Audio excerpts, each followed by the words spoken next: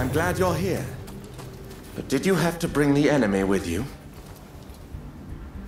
Found you, Sato! You'll pay for betraying us!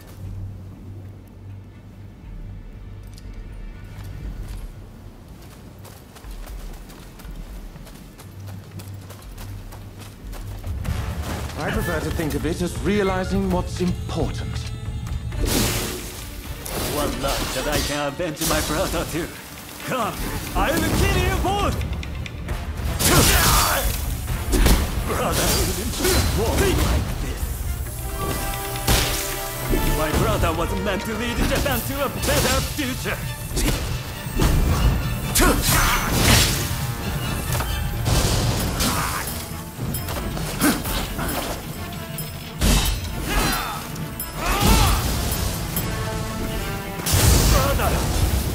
Lend me your strength! Only when always raised. Forgive me, brother.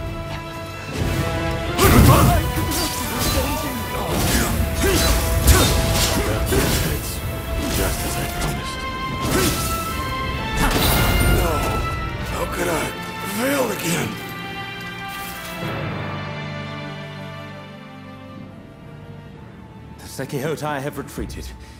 Thanks to you, of course.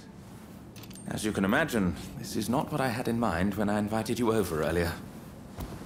Those assassins appear to be acting on the Demon Claw Samurai's orders. It seems my betrayal has been quite the bitter pill to swallow. Even so, my resolve remains firm.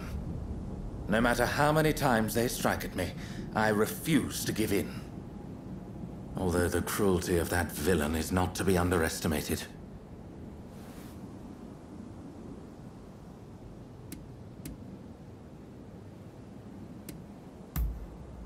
I see. So you still consider that villain to be your blade twin? And perhaps you are fated to face each other. As for myself, I have no intention of giving up. I must continue to pour everything into preventing further violence. As an interpreter, I have many contacts, you see. And though I cannot fight like you, I am confident that I will have a role to play. So, let us work together to protect Edo. Nay, all of Japan.